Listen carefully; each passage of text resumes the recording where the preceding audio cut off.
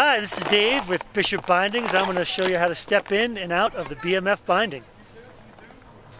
Stepping into the BMFR, a BMF3 is very simple. Your toe in, and then step with your heel down in, and final step is to put the safety into place.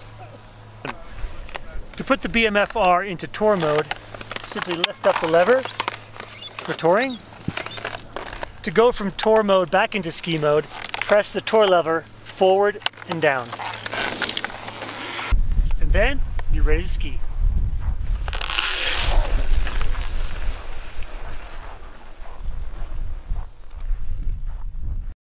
To step out of the BMFR, the BMF3 binding, first flip the, tor the safety down, and then you flip the lever.